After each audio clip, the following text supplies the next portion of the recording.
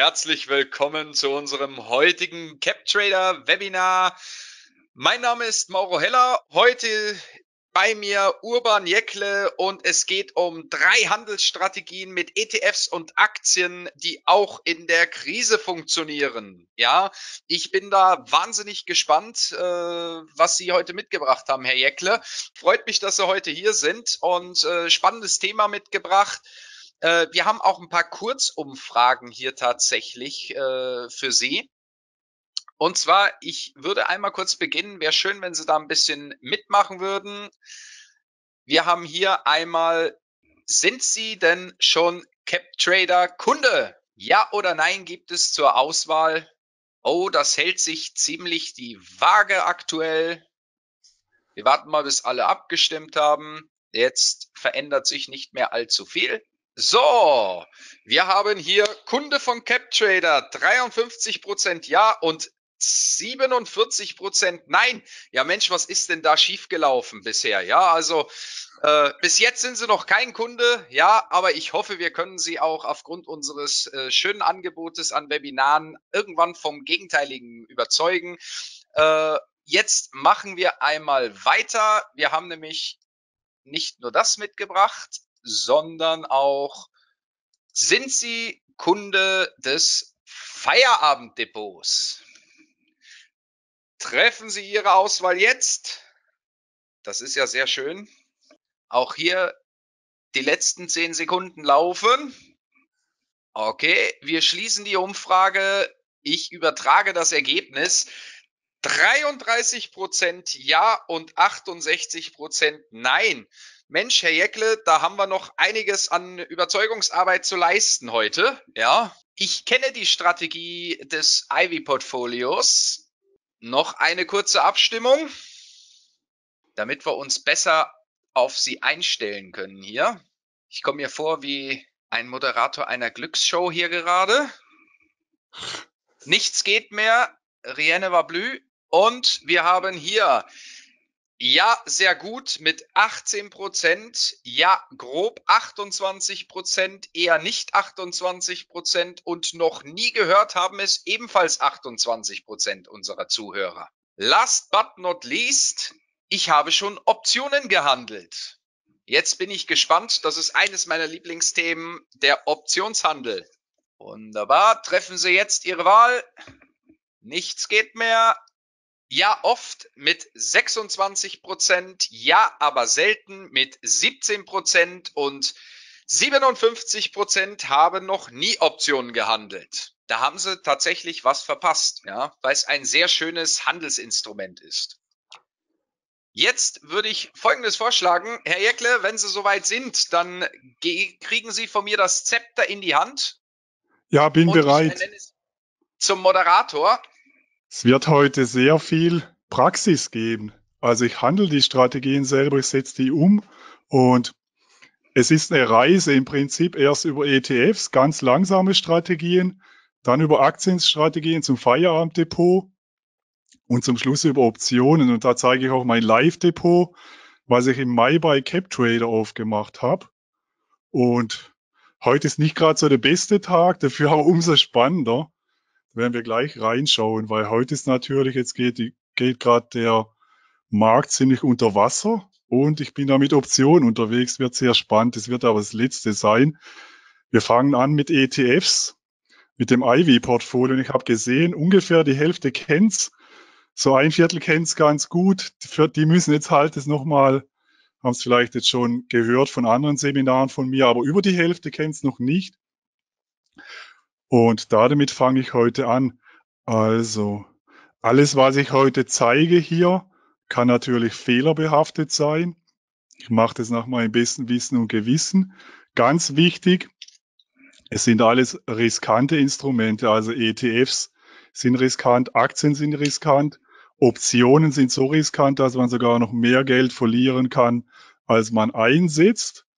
Sie handeln definitiv immer auf eigenes Risiko. Ich kenne Ihre persönliche Situation nicht und ich gehe davon, dass Sie erwachsen sind und für alle Ihre Handlungen selbst die Risiken und die Verantwortung tragen. Gut, dann fangen wir an. Also es geht los mit ETS-Strategien IV5, IV11.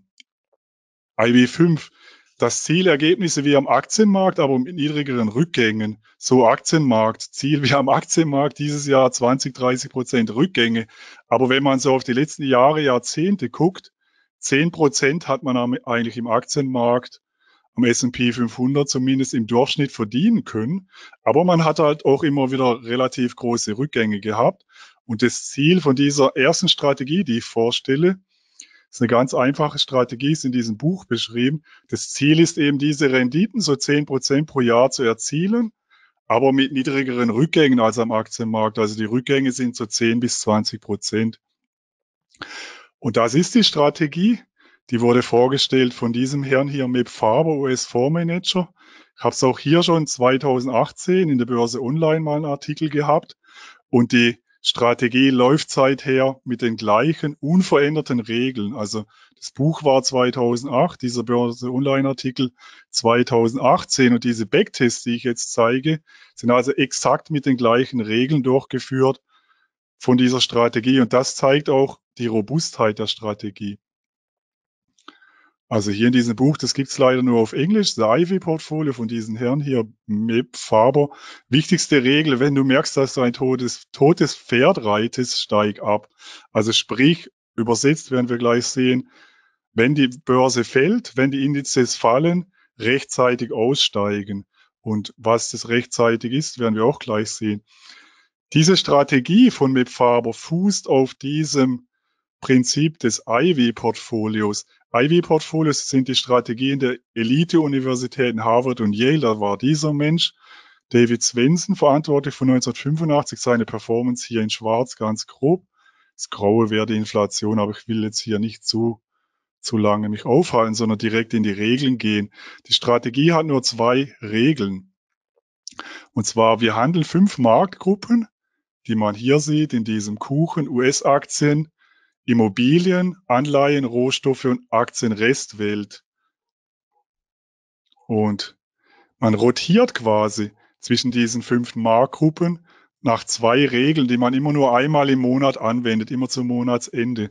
Die erste Regel ist Verluste begrenzen. Also wenn eine Marktgruppe unter den zehn Monatsdurchschnitt fällt, wird sie verkauft.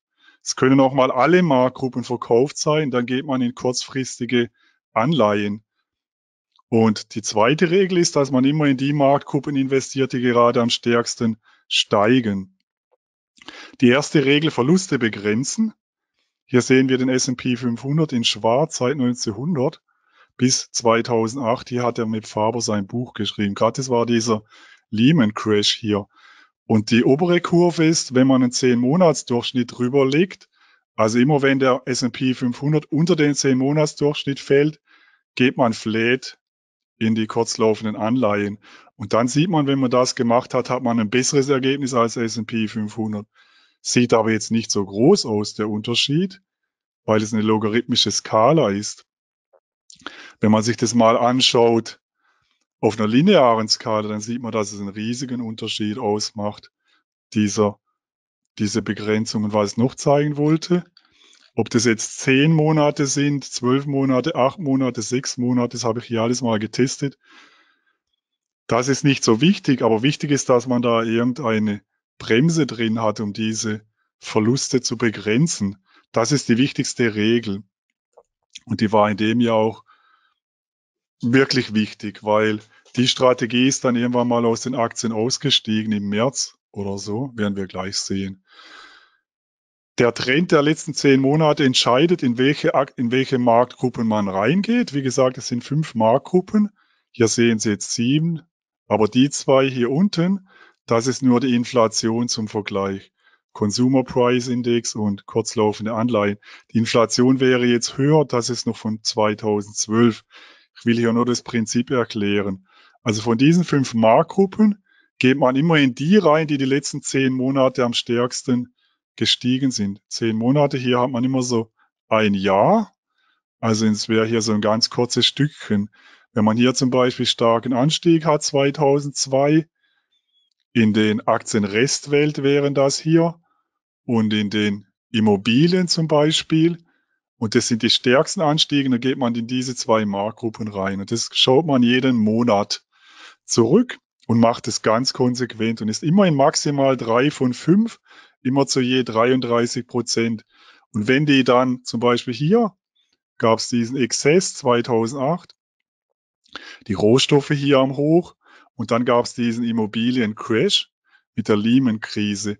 Und dann geht man aus den allen raus, sobald die unter den 10-Monats-Durchschnitt gehen. Da hat man dann einen Drawdown. Natürlich, aber man kriegt nicht diesen dicken Drawdown wie die Märkte selber, weil man irgendwo hier rausgeht. Und dann wäre hier die einzige Anlageklasse noch Anleihen. Dann wäre man hier zu einem Drittel in den Anleihen, was durchaus auch Langläufer sein können. Und zu zwei Dritteln wäre man dann in kurzlaufenden Anleihen, sogenannter Cash. Das sind die beiden Regeln. Und wenn man diese Strategie anwendet, dann bekommt man dieses Ergebnis hin. Man muss es wirklich nur einmal im Monat sich angucken. Und dann kommt man tatsächlich auf 10,3 Prozent pro Jahr im Schnitt bei einem maximalen Rückgang von 18 Prozent. Und hier ist die Tabelle, hier ist 2022, das hört aber hier im Mai auf, weil das will ich Ihnen gleich live mal noch an der Software zeigen. Hier ist noch der aktuelle Stand vom 26.09. Das hat sich nicht so viel verändert. Die Rohstoffe wären jetzt auch raus, aber da schauen wir jetzt gleich mal drauf und gehen mal direkt in die Backtest-Software. Ami Broker kennen, also wahrscheinlich 10 bis 20 Prozent der Kunden, die mich kennen, kennen auch schon diese Software. Da mache ich auch Kurse damit. Müssen Sie jetzt nicht alles verstehen. Sie müssen nur verstehen, dass das quasi rein systematisch nach diesen Regeln fünf Marktgruppen sortiert, dass ich hier auch Gebühren einstelle, 0,1 Prozent pro Trade, was für ETFs okay ist, weil die sehr liquide sind und wir haben eh nur maximal drei Trades pro Jahr. Das ist eine ganz entspannte Strategie. Wenn wir das testen, dann bekommen wir eben so eine Kurve, die wir gerade schon gesehen haben und können jetzt aber auch mal hier zum Beispiel die Rückgänge anschauen. Der größte Rückgang der Strategie war hier im Jahr 2008, als eben diese ganzen Marktgruppen in der Lehman-Krise gefallen sind. Ziemlich gut sind wir durchgekommen durch das Jahr 2000. 15% Rückgang. Da haben ja manche Aktienmärkte, zum Beispiel der S&P 500, 55% verloren oder auch die Nasdaq 80 Und sehr gut auch durch die ganze Corona-Krise. Also seit 2008 war der größte Rückgang 8 Prozent. Das ist schon wirklich gut. Und im letzten Jahr haben wir auch viel Rendite geholt, fast 30 Prozent. Aber das ist eher untypisch. Typisch ist eher so 10 Prozent im Schnitt. Man hier das so sieht.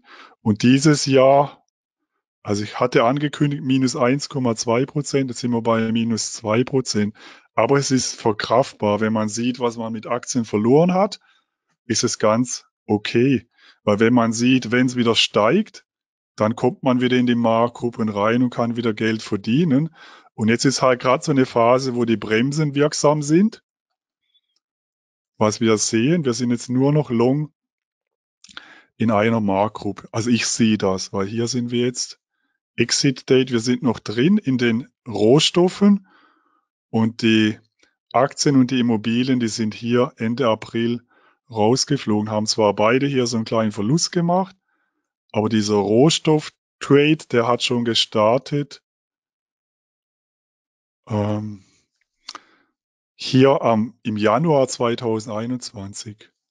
Also hier ist man reingegangen und jetzt muss man raus, weil jetzt dieser 10-Monats-Durchschnitt zum Monatsende, das ist morgen, nach unten durchbrochen wird und dann wird man auch in der Strategie in die kurzlaufenden Anleihen gehen, dann müssen wir warten, bis es wieder hochdreht. Aber das ist eine ganz langfristige Strategie. Keine Angst, in dem Seminar wird es noch ein bisschen spannender, aber ich meine, mit der Strategie kann man einfach 10 Prozent pro Jahr im Schnitt hätte man verdient. Ob das 10 Prozent in der Zukunft bleiben, ist zweifelhaft natürlich, weil wir haben jetzt nicht mehr solche Phasen mit Zinssenkungen und so weiter. Aber das Ziel von der Strategie ist vor allen Dingen, so viel aus dem Markt rauszuholen wie geht, aber immer die Risiken zu kontrollieren, also geringe Rückgänge. Und hier sieht man, warum war hier der Einstieg, weil wir hier zwei, vier, sechs, acht, zehn Monate gut gestiegen sind. Also immer die letzten zehn Monate hier, die bestimmen, in welche Marktgruppe man geht. Darum hat man die hier gekauft zum Monatsschluss und hat diesen ganzen Trend mitgenommen, hat halt nicht hier oben verkauft, was besser gewesen wäre, sondern verkauft jetzt hier, hat aber immerhin hier ungefähr 70 Prozent oder irgendwas dann mitgenommen mit diesem Rohstofftrade. 65 Prozent. So, das war die erste Strategie. Jetzt gehe ich da wieder zurück. Wir schauen auf den aktuellen Stand. Also wie gesagt, die Rohstoffe werden jetzt gleich verkauft werden zum Monatswechsel, weil sie da drunter gefallen sind unter den 10 Monatsdurchschnitt. Hier sehen wir immer diese lineare Regression. Also der Trend wird bestimmt mit einer Regression. Über die letzten 10 Monate sind wir hier noch am Steigen bei den Rohstoffen, trotzdem, dass wir drunter gefallen sind. Bei allen anderen nicht mehr. Bei den Immobilien sieht schon schlecht aus, da ist man hier rausgegangen. Und bei den US-Aktien ebenfalls Abwärtstrend, da wird man jetzt nicht kaufen können. Immer unter der grünen Linie, das ist der 10-Monats-Durchschnitt, das ist sowas wie die 200-Tage-Linie, darf man nicht investieren in eine Marktgruppe, niemals. Und das ist die wichtigste Regel. Aktienrestwelt, sehen wir hier auch nicht investierbar. Und die Anleihen, Wahnsinn, was die dieses Jahr mitgemacht haben. Hier war zum Beispiel Corona, das ist ein Anleihen-ETF, der verschiedene Anleihen beinhaltet, auch Unternehmensanleihen. Wir sehen hier in Corona kurzer Spike und dann kam die Notenbank zu Hilfe mit massiven Corona-Rettungsmaßnahmen, Stützungsmaßnahmen. Und jetzt ist der Markt hier trotzdem drunter gefallen über die Zinserhöhungen. Und auch diese langlaufenden Anleihen sollte man im Moment meiden. So, das war die erste Strategie. Diese ganzen Strategien, also zwei ETF-Strategien und diese Aktienstrategie, da gibt's jetzt auch über ein Angebot von mir, was ich jetzt auch mal teilen will. Nämlich, Sie können das hier bestellen, indem Sie einfach auf meine Webseite gehen, feierabenddepot.de, dann hier klicken, dann kommen Sie auf diese Seite und dann ganz wichtig, dann können Sie hier eingeben, Sie haben einen Gutschein, dann geben Sie hier ein Cap Trader. Und dann ist ein gültiger Gutscheincode. Und dann kriegen Sie das nämlich erster Monat für, für ein Euro können Sie es testen. Und die Folgemonate 39 Euro. Und Sie können es jederzeit kündigen, monatlich. Also wie gesagt, wie kommen Sie dahin? Einfach auf die Webseite gehen. Vielleicht kann der Herr Heller das einfach mal kurz in den Chat reinschreiben. Und Gutscheincode ist CapTrader. Da haben Sie Zugang zu diesen drei Strategien. Diese Strategie von fünf Marktgruppen kann man erweitern auf elf Marktgruppen. In dem Buch von Mep ist es halt einfach unterteilt. Es ist sehr grob, die Unterteilung. US-Aktien, ja klar, ist eine wichtige Marktgruppe. Nicht-US-Aktien ist die ganze restliche Welt. Das kann man zumindest unterteilen in Industrieländer und in Emerging Markets. Die Immobilien kann man unterteilen in US-Immobilien, Rest-USA, die Anleihen in USA und Rest aus USA. Und vor allen Dingen die Rohstoffe kann man unterteilen. Da habe ich jetzt mal vier genommen, weil das ist so gängig in der Industrie, dass man das in diese vier Marktgruppen unterteilt. Energie, Edelmetalle, Industriemetalle und Agrar, weil es klar, dass Edelmetalle eine andere Klasse sind als Energie. So, und da kommt man auf elf Marktgruppen und dann ist die ganze Strategie noch etwas abgewandelt. Und da habe ich hier die Backtests. Wenn man jetzt zum Beispiel immer die Top, immer nur den Top 1 aus diesen elf Marktgruppen nimmt, Monat für Monat, dann kommt man auf eine Rendite von 16 Prozent bei einem Maximum Drawdown von 24. Aber das ist natürlich sehr sportlich. Dann ist man zum Beispiel jetzt voll mit 100 Prozent in einem Energie-ETF. Das ist schon nichts für schwache Nerven. Deswegen vielleicht etwas nervenschonender, man geht immer in die Top 2, ja, dann wäre man jetzt zum Beispiel in einem Energie-ETF gewesen und mit 50 Prozent und mit 50 Prozent aber in kurzlaufenden Anleihen. Und wenn man das durchgezogen hätte, immer in die Top 2, hätte man 14,6 Prozent verdient mit einem Rückgang von minus 27,6 Prozent.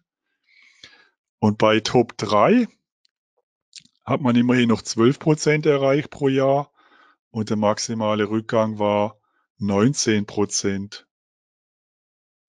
Und bei Top 4 hat man nur einen Rückgang von 16 Prozent und hat 11,7 Prozent im Schnitt im Jahr erreicht. Im Moment sieht es so aus, Stand 29. September, dass wir hier nur in dem Energiemarkt long sind, weil das die einzige Marktgruppe ist, die über dem 10-Monats-Durchschnitt sich befindet. Und die alle roten Marktgruppen sind unter dem 10-Monats-Durchschnitt. Hier die Frage natürlich, warum ist dieser grüne Markt dann nicht auf Position 1, sondern auf Position 3? Weil ich hier bei der Rangliste nicht nur rein nach dem Trend gehe, sondern auch über weitere Indikatoren, wie zum Beispiel die Schwankung des Marktes, sprich Volatilität berücksichtige und auch das Handelsvolumen. So, wie sieht es aktuell aus, für, weil jetzt fast Monatsende ist? Der Energie-ETF wird sehr spannend. Das war Stand gestern. Der könnte sich ganz knapp noch darüber halten, über den 10-Monats-Durchschnitt. Aber da wird es abzuwarten sein. Und die anderen Märkte sind da schon drunter. Und dann wird man sehr wahrscheinlich dann, entweder bleibt man da dann noch drin, oder es sind alle Marktgruppen mal einen Monat lang in den kurzlaufenden Anleihen. Das kann auch passieren. Das ist die nächste Strategie.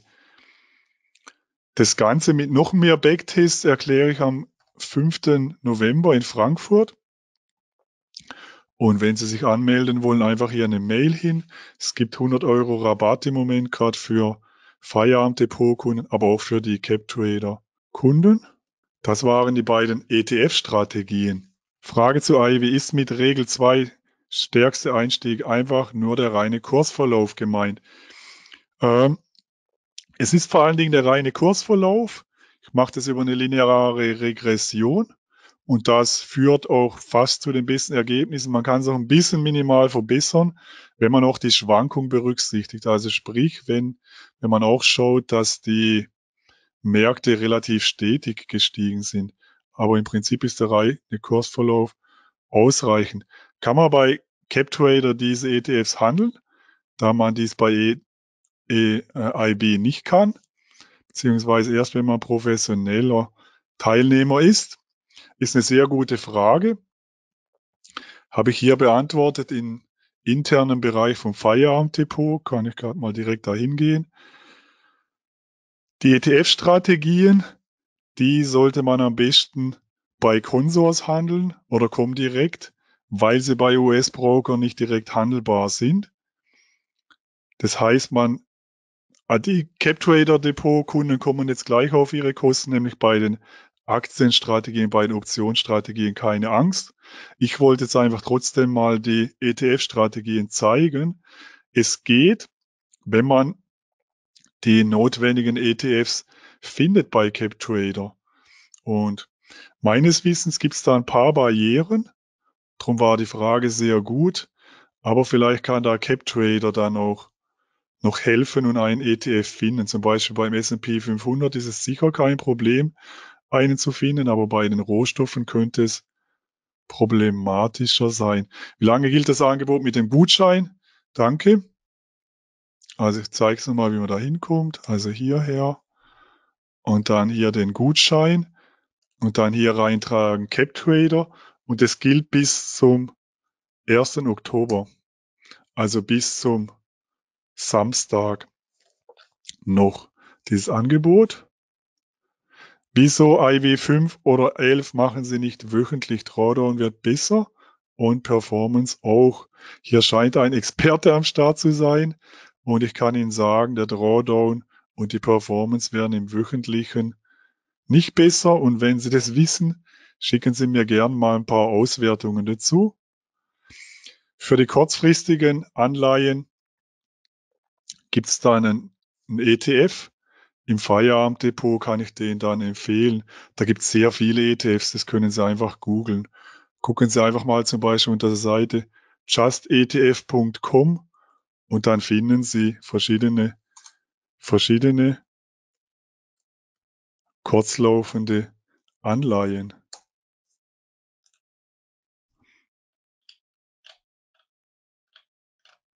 So, was gab's noch für Fragen? Macht das bei Rohstoffen Sinn? Sind das nicht eher Range-Märkte? Rohstoffe können sehr trendig sein. Das kann man nicht sagen, dass Range-Märkte sind oder nicht. So, das waren eigentlich die wichtigsten Fragen. Genau. Wie wählt man die ETFs zu den Marktgruppen aus?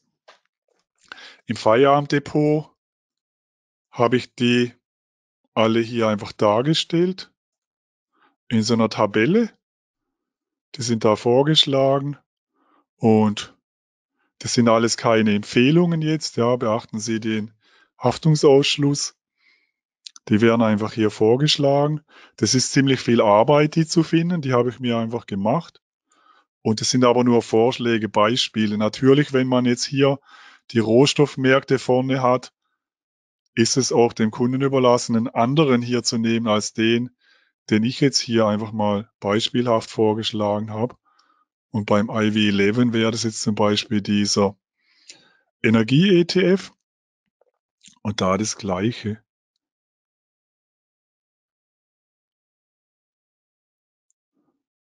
Kurzlaufende Anleihen, WKN. Das habe ich schon beantwortet. Genau zu den kurzlaufenden Anleihen WKN findet man eigentlich zum Beispiel bei justetf.com. Oder wenn wir hier dann in die kurzlaufenden Anleihen gehen sollten, dann teile ich das auch für die Feierabend-Depot-Kunden. Natürlich. So. Dann kommen wir zu den Strategien, die ich schon in den letzten beiden Webinaren vorgestellt habe und die bei CapTrader optimal umsetzbar sind. Und das sind auch meine Hauptstrategien. Und wichtig wollte ich da mal erstmal die Performance zeigen in dem, in dem Jahr. Die sehen Sie hier. Wir sind fast mit plus minus null rausgegangen, also minus drei Prozent ungefähr, weil wir hier die ganze Zeit flat sind und weil wir zu Jahresbeginn hier sogar noch einen Aufwärtstrend geschafft haben mit Hilfe von den ziemlich vielen Energieaktien, sowas wie Chevron, Exxon. Und jetzt sind wir flat und das ist gut so, weil zum Beispiel S&P 500, das war Stand letzte Woche, das ist jetzt noch schlimmer, dieses Jahr 22,5 Prozent verloren hat, der Nasdaq 30 Prozent, der DAX hat auch um die 20 Prozent verloren, plus der DAX hat ja noch zum gegenüber dem Dollar noch verloren. Also wir sind hier mit den minus drei Prozent gut durchgekommen und warten geduldig auf die Wiedereinstiege. Und ich zeige Ihnen jetzt das. Eigentlich, Sie können bei CapTrader die alten Webinare sowieso anschauen, wo ich dieses Mal behand alles behandelt habe, aber ich zeige Ihnen jetzt trotzdem mal so ein paar Basics dazu, weil wir haben genügend Zeit. Also das Feierabenddepot erprobte Faktoren für Aktien. Also im Feierabenddepot neben diesen ETF-Strategien, die ich gerade gezeigt habe, bekommen Sie drei Aktienstrategien. Das ist halt das Herzstück vom Feierabenddepot. Und wie sind diese Strategien gebaut? Die orientieren sich, das ist nur noch mal kurz die Einleitung zu mir, die orientieren sich an diesem Paper von dem Guido Baltussen, Lawrence Winkels, Pim van Vliet aus dem Jahr 2019. Die drei Autoren, das sind auch Fondsmanager in den Niederlanden, die haben die Renditen von Aktien über 200 Jahre untersucht, also wirklich alle Daten ausgewertet, die sie haben und haben geschaut, welche Faktoren bringen denn für Aktien Zusatzrenditen. Und die haben diese Faktoren identifiziert, diese fünf hier hauptsächlich, nämlich der Trend, Dividenden, Saisonalitäten, Minimum Vola, niedrige Schwankungen und bestimmte fundamentale Kennzahlen. Ich habe hier noch als Zusatzbalken das Sentiment hinzugetan, aber das Sentiment kann man nicht die letzten 200 Jahre untersuchen, obwohl jeder weiß, dass Sentiment an der Börse, also wie, die, wie sich die Marktteilnehmer fühlen, sehr wichtig ist. Und was hier aufgetragen ist, sind die Zusatzrenditen gegenüber dem langjährigen Durchschnitt. Also zum Beispiel mit einem Trend kann man den durchschnittlichen Markt um sieben Prozent schlagen, mit Dividenden auch ungefähr um sieben Prozent, Saisonalitäten sechs Prozent, niedrige Schwankungen drei Prozent, fundamentale Kennzahlen, Kurs-Umsatz-Verhältnis ungefähr zwei Prozent. Der Trend ist beschrieben in diesen zwei Büchern von Pim van Fleet, High Returns from Low Risk und von dem Andreas Klino, Stocks on the Move. Und die fundamentalen Kennzahlen vor allen Dingen von James O'Shaughnessy, What Works on Wall Street oder auf Deutsch die besten Anlageklassen, Anlagestrategien aller Zeiten. So. Kleine Anekdote zu dem Buch. Er hat das Buch geschrieben im Jahr 2000 und da kam gerade dieser Crash und haben die Leute gelästert, weil dann haben sie geschrieben, what da, also das Buch könnte auch heißen, What Does Not Work on Wall Street, weil es sind solche Phasen wie jetzt, die extrem schwer sind, gute Renditen zu erwirtschaften und wo es auch gut ist, wenn dann die Strategien anzeigen, dass man aussteigen soll.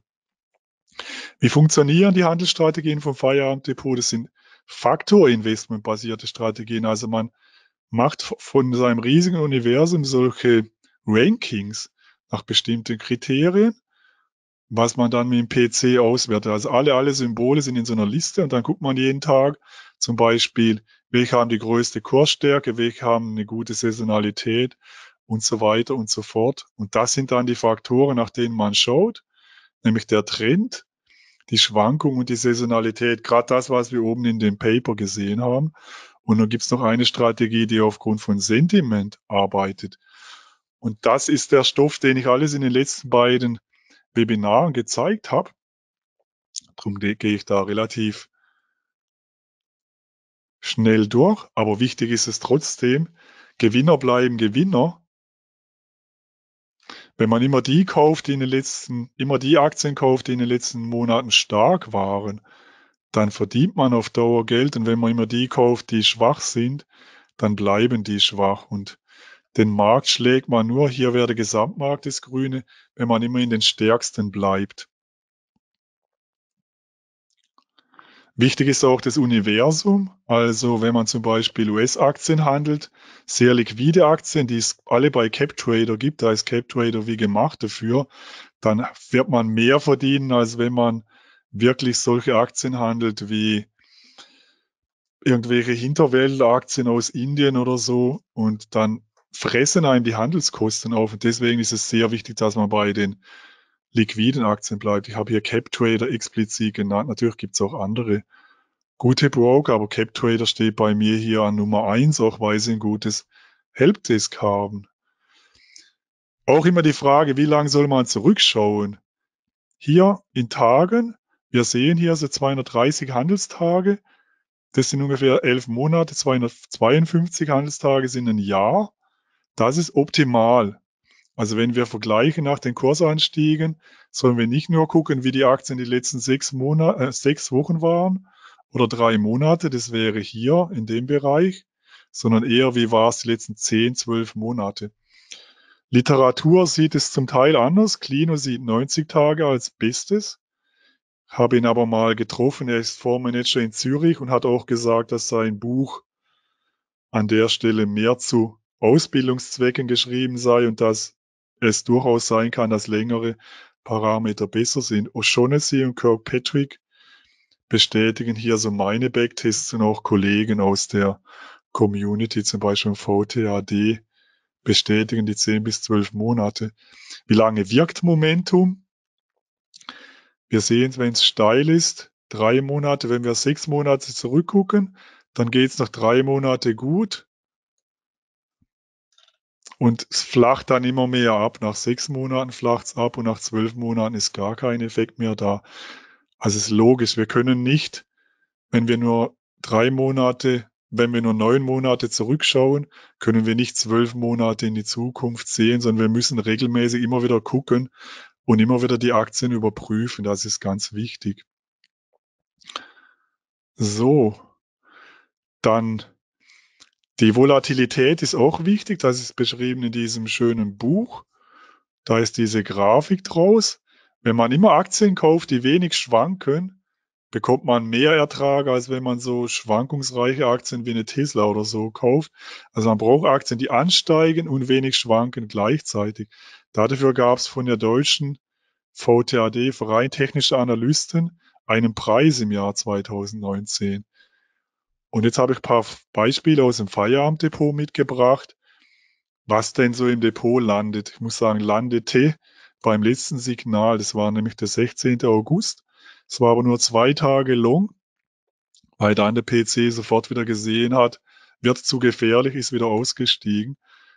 Und Gutscheincode IAPM würde auch noch gelten für heute, aber CapTrader gilt noch bis Samstag, ein Tag länger und der Preis ist das gleiche. So, ExxonMobil kam hier kurz rein ins Depot. Warum? Weil es diesen langen Aufwärtstrend hatte und weil gleichzeitig die Volatilität etwas zurückkam. Das ist optimal gemäß diesen ganzen theoretischen Untersuchungen und den Backtests. Und eine Vertex Pharma kam hier kurzzeitig rein. Auch langer Aufwärtstrend und niedrige Volatilität. Im Moment jetzt mit diesen ganzen Aktienniedergängen findet man immer weniger Aktien, die überhaupt solche Trends haben. Folgerichtig sind wir im Moment nicht investiert. Ich zeige Ihnen aber gleich mal mein Optionsdepot noch. Und eine ConocoPhillips, das war auch ein Ölwert, der kam hier auch rein. Und auch hier ist man dann wieder rausgegangen. Das ist, wie gesagt, alles aus dem Feierabenddepot. Die Ausstiege sind bei den Aktienstrategien das Gegenteil von den Einstiegen. Also man geht immer rein, systematisch immer rein in die obere nach einem gewissen Score, was man täglich sich anschaut. Und raus geht man einfach, wenn die schwächer werden, wenn die zum Beispiel aus den Top 20 fallen. Je nachdem, welches Universum man sich da anschaut, kann man dann definieren Top 10, Top 20, Top 30. So, das wären die Backtests von dieser einen Momentum-Strategie. Und wichtig ist, es gibt immer solche Phasen, wo der Markt abstürzt so, jetzt habe ich einen kleinen Technikproblem gerade gehabt, aber ist wieder gut. Ja, wenn der Markt abstürzt, dann sind diese Phasen, wo man rausgeht und das haben wir auch jetzt gerade. Und dann tut man einfach gut dran, um dann die Rückgänge gering zu halten. Dann man hier nämlich, ist schon eine relativ riskante Strategie hier, wo man 40 Prozent Rückgang hatte bei einem Durchschnittsgewinn von 16%. Prozent. Genau, da muss man in solche Phasen raus. In dem Jahr hat diese Strategie minus 7,7 Prozent gehabt. Wenn Sie hier mal die anderen Jahre angucken, 2020, das werden wir natürlich nicht mehr so schnell sehen mit diesen unglaublichen Notenbankmaßnahmen. Also das mittelt sich raus. Man hat manchmal Verlustjahre, aber die sollten so fünf bis zehn Prozent nicht überschreiten. Dann kommen die wichtigen Bremsen zum Tragen. So, Saisonalitätsstrategie, auch noch ganz kurz. Da hatte ich auch schon im Webinar davor mal kurz erklärt. Da schaut man nach Aktien, die in den nächsten Monaten besonders eine gute Saisonalität haben und gleichzeitig einen hohen Trend und dann renkt man die und kauft die auch einmal pro Monat. Also man guckt zum Beispiel eine Kaleris, wenn die immer im August immer gut war, dann kauft man sie zum, und da hat hier noch einen Aufwärtstrend gezeigt, dann kauft man sie am 1. August. Also der Chart ist jetzt ein bisschen älter. Beispiele von saisonalen Effekten. Zum Beispiel hier Weihnachtsgeschäft, das ist ein Einzelhändler. Oder zum Beispiel Hauptversammlung vor der Tür im Mai, dann steigt die Aktie hier von Februar bis April ist auch ein spannender saisonaler Effekt, den viele nicht so auf dem Schirm haben. Hier ist immer die Hauptversammlung im Mai. Ist ein saisonaler Effekt. Dann wird diese Aktie vielleicht gekauft vor der Hauptversammlung. Keiner weiß warum. Oder natürlich klassische saisonale Effekte. Im Winter gibt es weniger Heizöl. Das müssen wir jetzt in der EU schmerzlich erfahren. Und diese saisonale Strategie hat einen sehr stetigen Backtest, 22 Prozent pro Jahr mit einem maximalen Drawdown von 34 Prozent. Und dieses Jahr minus 6,7 Prozent ist im Moment aus dem Markt. Das war mal ein Schattendepot im September. Werte, die jetzt drin gewesen wären, wenn das Feierabenddepot investiert gewesen wäre, hauptsächlich Ölaktien, weil es die stärkste Branche war und auch saisonal. Gut, an der Stelle breche ich das mal ab und zeige es direkt hier im internen Bereich. Also wir haben im Moment im internen Bereich die Position dargestellt. Die sind alle im Moment raus aus dem Markt, die Strategien. Und zum Beispiel in der Sentiment-Strategie, die ich jetzt hier nicht gezeigt habe, könnte es aber jederzeit mal wieder einen Einstieg geben gegen den Trend, wenn zu viel Pessimismus aufkommt. Aber im Moment sind wir raus. Die Backtests habe ich gerade gezeigt. Das wäre jetzt der Gesamtbacktest, wenn man alle drei Strategien vom Aktiendepot aufsummiert. Und genau zu 20 Prozent im Jahr mit einem Maximum Drawdown von 22 Prozent. Und dieses Jahr im Backtest zu minus 4 Prozent und auch in der Realität. Die Kurve hatte ich Ihnen ja schon gezeigt. So, dann sind wir auch schon ziemlich fortgeschritten. Ich gucke nochmal, was Sie für Fragen haben.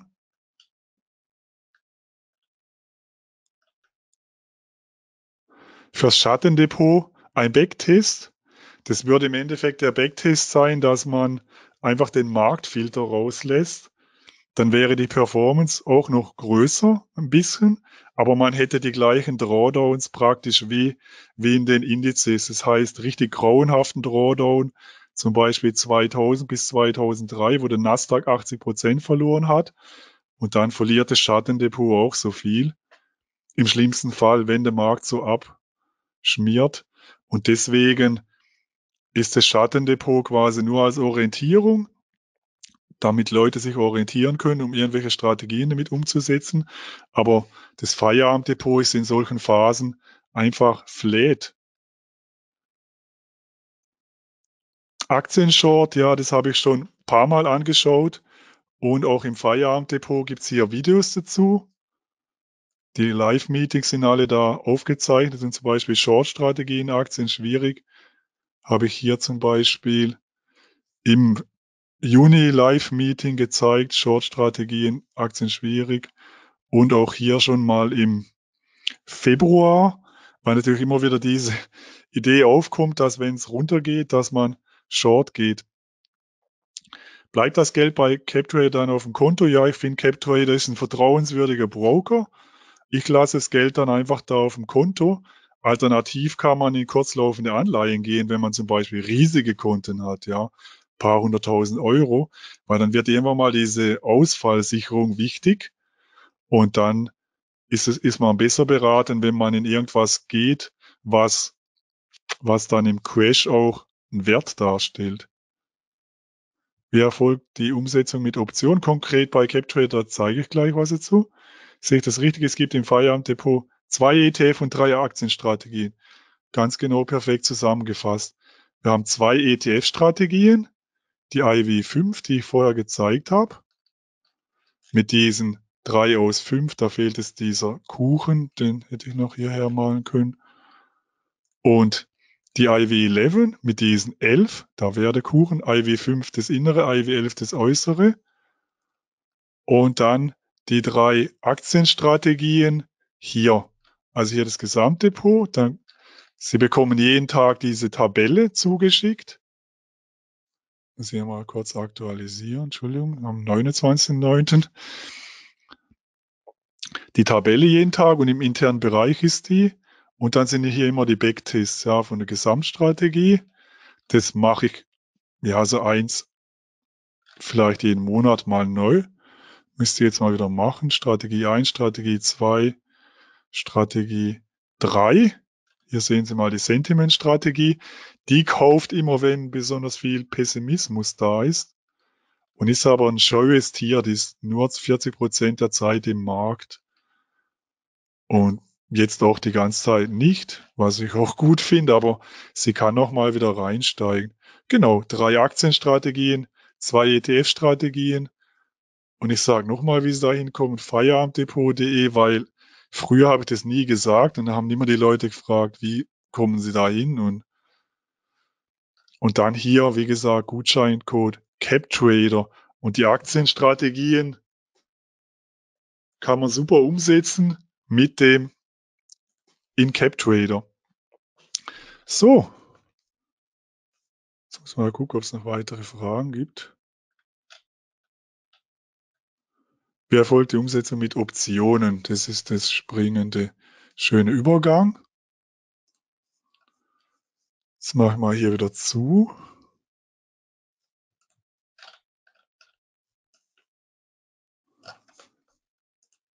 So, Present.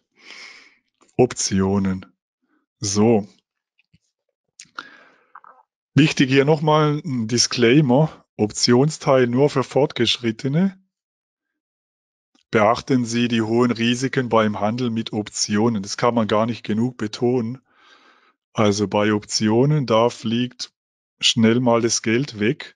Insbesondere wenn man auf der Stillhalterseite unterwegs ist, so wie ich.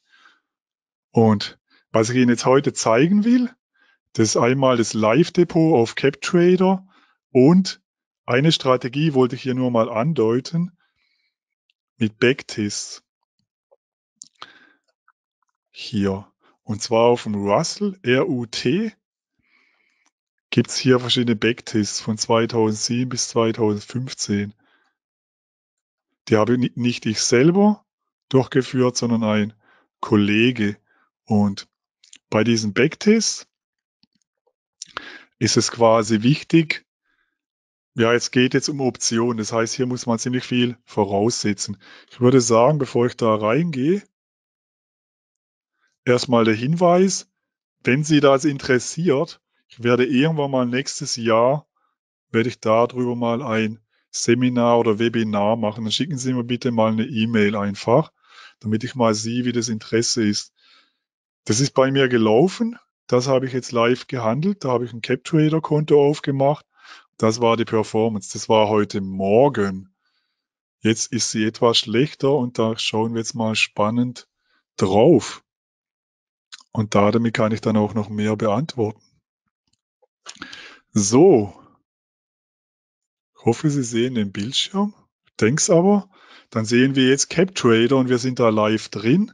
Und das sind die Positionen. Und was ich gerade gezeigt habe in dem Backtest, das war diese Strategie mit dem RUT, die jetzt hier richtig dick im Minus ist. So. Und wir sehen hier warum. Naja, weil da habe ich einen Call verkauft und einen Put verkauft. Und der Call ist im Plus Verkauft heißt, ich habe den irgendjemand gegeben, einem gierigen Spekulanten oder irgendeinem Spekulanten, dem habe ich den verkauft. Der Spekulant hofft auf steigende Kurse, die kommen nicht und er verliert Geld und ich gewinne Geld.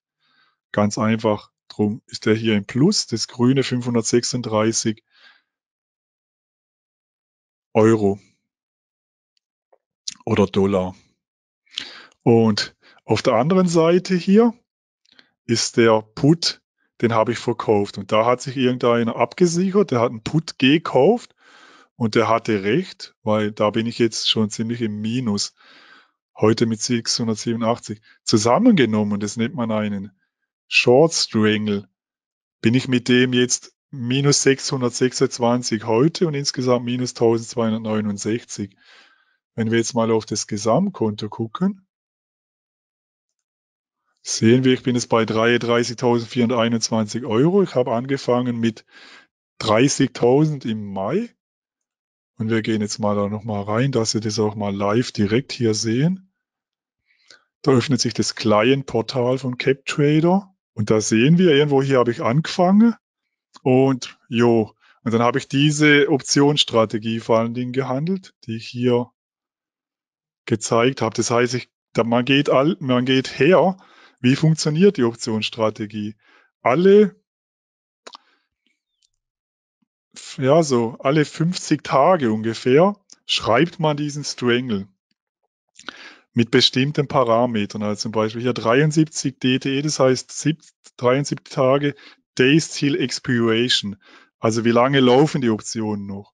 Dann ist hier backgetestet äh, Kursziel und wo ist mein Stop, weil ich muss irgendwann mal die Notbremse ziehen. Das darf mir nicht um die Ohren fliegen, weil dann ist das Konto platt. Wie gesagt, es kann, wenn es zum Beispiel, also mal angenommen, die Märkte fallen jetzt nochmal extrem hier runter. Dann geht es natürlich hier richtig dick in den Verlust. Das heißt, ich muss hier auch monitoren. Und wenn das hier bei gewissen Verlusten steht, hier sind Backtests. 100% Verlust lasse ich zu, 200%, 300%. Oder hier die Gewinnziele. Bei 50% nehme ich den Gewinn mit. Was ist am besten? Wir sehen, das Lilane hier oben 200% Verlust, 75% Gewinn. Dann mache ich den zu und mache einfach den nächsten auf. So sieht es quasi aus. Und das habe ich hier die ganze Zeit gemacht. Und hier war ich schon im Gewinn, ja, 6%. Und dann kam im Juni irgendwas so ähnliches wie hier, was ziemlich furchtbar war. Und was mich dann hier plus 6%, minus 7, minus 13 Prozent Drawdown gekostet hat. Dann lief es hier schön, schön, schön. Und jetzt bin ich immerhin noch 11,3 Prozent im Plus in der Marktphase, wo die meisten verloren haben. Aber wie gesagt, ist nichts für schwache Nerven. Und was ich Ihnen auch nochmal sagen will, ganz wichtig ist hier die Margin, das Risiko, die Risikosteuerung ist hier wichtig. Und da gibt es dieses schöne Tool bei CapTrader, äh, Risk Navigator. Gibt es alles mögliche, What-If und so kompliziert ich es aber nicht machen. Aber wichtig ist, dass man sich das eigene Portfolio mal anschaut. Auch das will mich jetzt wieder ein bisschen quälen. Normalerweise sind 10 Sekunden auf, aber okay, hier ist schon. Und das ist, was die meisten Menschen nicht so gerne machen. Aber die Risikosteuerung ist extrem wichtig. Ich habe jetzt hier 33.300 Euro auf dem Konto und meine Margin ist bei 16.000, ja. Und die habe ich auch bewusst so gewählt. Das ist nämlich ungefähr die Hälfte, 50 Prozent. Man kann hier gehen so auf 60 Prozent. Das könnte noch okay sein. Aber wenn man hier auf 100 Prozent geht, Sprich, wie würde ich das erreichen, indem ich hier zum Beispiel alle Positionen doppelt hätte? Ja, ich würde hier einfach zwei Strangle schreiben. Hier habe ich noch einen auf Energie, der ist im Plus. Verschiedene Sachen, alles zwei davon. Oder hier zum Beispiel Japanese Yen, sind auch im Plus. Und dann hätte ich doppelte Margin, doppeltes Risiko. Und diese Margin, die kann dazu führen, wenn, wenn der Markt jetzt gegen mich läuft, dass im schlimmsten Fall dieser Broker mich liquidiert. Darum sollte man da tunlichst darauf achten, dass diese Margin ungefähr die Hälfte ist von diesem Net Liquidation Value. Und auch diese Risikokennzahlen hier, Value at Risk, sind auch immer so ganz gut. Das zeigt zum Beispiel an, historisch gesehen, wie viel man dann, wenn es richtig schief geht, der Tag, dann zersägt es quasi 3000 Euro, wenn es mal richtig richtig schlimme Tage so aus der Historie betrachtet. Solche Sachen soll man sich angucken, aber ich will es nicht zu kompliziert machen. Die Margin sehen Sie immer, wenn Sie einen Trade-off machen, dann steigt die an oder sie fällt. Und diese Strategien, die kann man auch gut kombinieren mit dem Feierabenddepot. Also das eine ist, wo ich da den Gewinn geholt habe, einfach immer schön kontinuierlich diesen Russell Strangle geschrieben, obwohl er jetzt hier mal im Minus ist, aber der war meistens, hat man hier was mitgenommen. Und das zweite, was ich hier mache, auch das läuft jetzt gerade nicht so prächtig. Ich bin hier in der Chevron-Aktie Long, weil wir im Feierabenddepot gesehen haben, Energie ist vorne. Ja, ich gehe mit dem Trend quasi. Wir einen Chart anschauen. Geben wir einfach Rechtsklick, New Chart und gucken uns jetzt mal zum Beispiel die Chevron-Aktie an.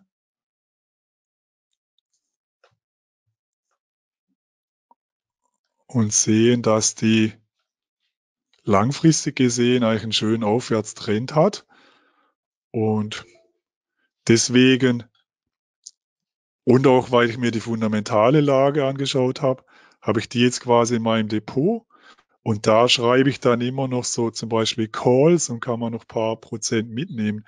Das ist dann weniger riskant, weil man da quasi Optionen schreibt, die man im Depot hat. Und die habe ich liquidiert, weil das vorgestern, ja, habe ich da einfach den glatt gestellt. So, Genau, das war eigentlich so für heute das Wesentliche in dieser nicht ganz einfachen Marktphase, würde ich mal sagen, was mir auch heute hier vorgeführt wird. Aber so ist halt, es ist halt das Leben, dass auch die Verluste dazugehören und man muss mit denen umgehen als Trader. Das ist wichtiger noch als mit den Gewinnen. So, jetzt gucke ich mal noch was es für Fragen gibt. Wie war die Mailadresse für das Interesse am Optionsseminar? Info at captrader urban-docs.com oder Sie können mir natürlich auch schreiben an urban.feierabendepot.de zum Beispiel, wenn Sie hier drauf gehen. Ist da meine E-Mail-Adresse eigentlich? Na, ich habe die E-Mail-Adresse jetzt ja geteilt. Genau, die teile ich jetzt auch nochmal hier. Ähm, kleinen Moment, mich gerade ein bisschen verloren in meinen vielen Präsentationen. Hier ist die E-Mail-Adresse info.urban-docs.com unverbindlich. Und da habe ich noch mal ein halbes Jahr Vorlauf. Ich möchte nichts so halbfertiges zeigen. Ich meine, ich mache das jetzt sechs Monate, es läuft gut. Und ich habe auch Kollegen, die das auch machen und auch schon länger und das auch anderen beibringen. Aber das nicht einfach. Insbesondere braucht es Vorbereitung. Also das richtet sich wirklich nur an Leute, die sich mit Optionen auskennen. Da wäre es wichtig dafür, eigentlich erstmal so eine Optionsbasisausbildung zu machen, wie die zum Beispiel, glaube ich, bei CapTrade auch angeboten wird. Ist das richtig, Herr Heller? Ja, das ist, das ist richtig. Äh, bei Interesse da an die info at captrader.com mal ja. einen, äh, ja, eine kurze Mail schreiben und äh, ja, dann bekommen Sie da auch eine Einladung dazu, wenn wir so einen neuen Grundkurs wiedergeben. Ja. Genau. Und wenn Sie vorbereitet sind dann und Interesse haben, und dann werde ich diese Backtests ganz genau erläutern und dann muss man gucken, wie man das dann quasi im Tandem umsetzen kann. Aber ich will jetzt noch ein halbes Jahr warten, was da alles passiert. Und natürlich sind es jetzt schon ganz gute Härtetests gewesen die letzten Monate. Es ist eigentlich jetzt sogar für diese Strategie besser, wenn es ab und zu mal sowas mitmacht dann ist es schon ein bisschen mehr erprobt im, im richtigen Fahrwasser, als wenn es die ganze Zeit so ein Jahr ist wie 2021. Okay, gut, alles klar. Perfekt. Herr Jäckle, ich bedanke mich recht herzlich ja, für das äh, ja. sehr interessante, äh, was Sie uns heute gezeigt haben. Ja, Und gerne, war eine Freude. Ja, äh, Freude ganz meinerseits tatsächlich auch. Und ich hoffe, Ihnen zu Hause hat es ebenso gefallen äh, wie mir. Und äh, wir freuen uns, wenn es mal wieder äh, das nächste Mal heißt, äh, dass Sie uns was mitgebracht haben, Herr Jäckle. Ja, gerne. So alle drei, vier Monate machen wir ja ein Webinar zusammen und es macht mir immer Spaß. Und CapTrader ist einfach für die Feierabenddepot-Kunden eigentlich der beste, wichtigste Broker. Das empfehle ich immer wieder, weil Ihr habt die niedrigsten Gebühren, gerade für die US-Aktien. Und ihr habt ein deutsches Helpdesk. Das heißt, es ist quasi wie Interactive Brokers, aber mit der deutschen Unterstützung. Und gerade speziell für die Anfänger ist es einfach gut, dass man jemand hat, wo man mal fragen kann. Und auch die ganzen Hilfevideos sind einfach eure ganze Infrastruktur sehr hilfreich mit den niedrigen Gebühren. So, ich bedanke mich deswegen bei Ihnen, dass ich dabei sein durfte und natürlich bei den Kunden, die lange durchgehalten haben, auch für die ganzen guten Fragen. Ich wünsche allen einen schönen Abend und bis zum nächsten Mal. Ja, tschüss. Wünsche ich auch. Bis dahin. Tschüss.